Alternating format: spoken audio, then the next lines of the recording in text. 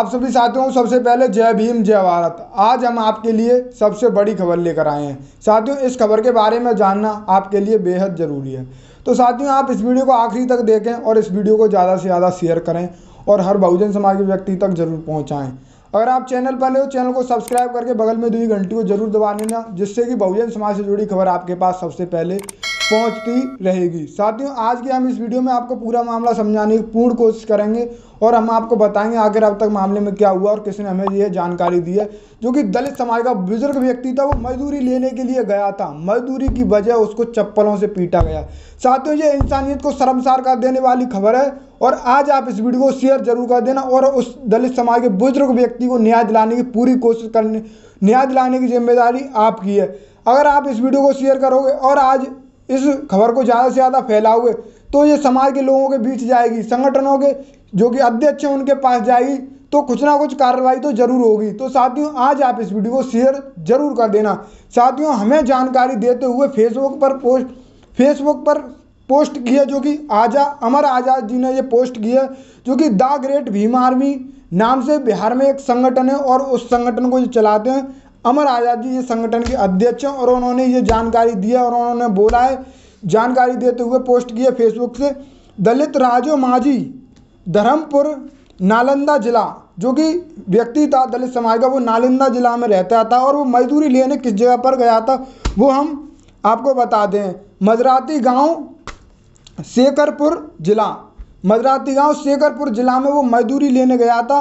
वहाँ के जो कि मजदूरी किस समाज के लोगों से लेने गया था, वो भी हम आपको बता दें। भूमियार जो कि बिहार में एक भूमियार जाति है, उन लोगों से जो कि मजदूरी लेने गया था दलित समाज का, जो कि बुज़ुर्ग व्यक्ति अपनी मेहनत के पैसे लेने के लिए गया था भूमियार लोगों से। जब उसको मजदूरी की जगह उन लोगों ने मजदूरी तो दी नहीं, पर उसको बुज़ुर्ग व्यक्ति को, दलित समाज के बुज़ुर्ग व्यक्ति को बुरी तरीके से पीटा।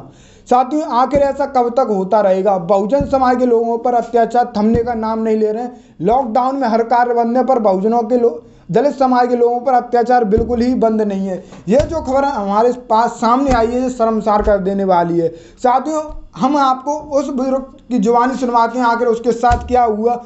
अगर आप उसकी शकल की तरफ़ देखोगे यानी उनके उनके चेहरे की तरफ़ देखोगे, उस बुज़ुर्ग के चेहरे की तरफ़ देखोगे तो साथियों, आपको रोना ज़रूर आएगा।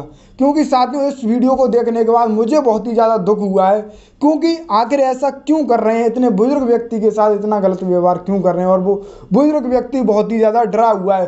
तो आपसे मैं एक निवेदन ज़रूर करना चाहूँगा। आज आप इस वीडियो को शेयर ज़रूर कर देना अपनी एकता का परिचय ज़रूर देना। तो साथियों अब हम सुनवाते हैं बुज़ुर्ग व्यक्ति की जुनवानी आकर उसके साथ क्या हुआ? क्या नाम है आपका? राजो माझे है सर। की होलो तोरा जोरे? जोड़ी भेले गेलिए मजदूरी मांगल तो मरना शुरू कर कहाँ गए लो? भदर्थी गेलिए तो क्या किया आपके माल के आप? के मारा? बाभन मन क्या बोला? कुछ हम नहीं बोल लिए को बोली। हम कह आओ मारना तो मार भाई। क्या चीज़ से मारा? चप्पल से। साथियों आपने ये वीडियो देखी? आज आप इस वीडियो को शेयर करें लाइक करें। अगर आप चैनल पर नहीं चैनल को सब्सक्राइब करें। जय भीम जय भारत। फिर मिलते हैं नई वीडियो